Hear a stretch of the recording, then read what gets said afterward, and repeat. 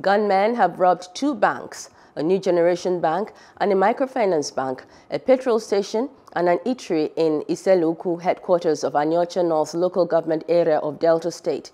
The armed men killed four persons and carted away millions of naira.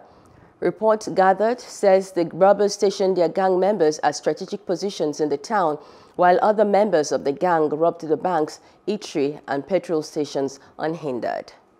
Hope you enjoyed the news. Please do subscribe to our YouTube channel and don't forget to hit the notification button so you get notified about fresh news updates.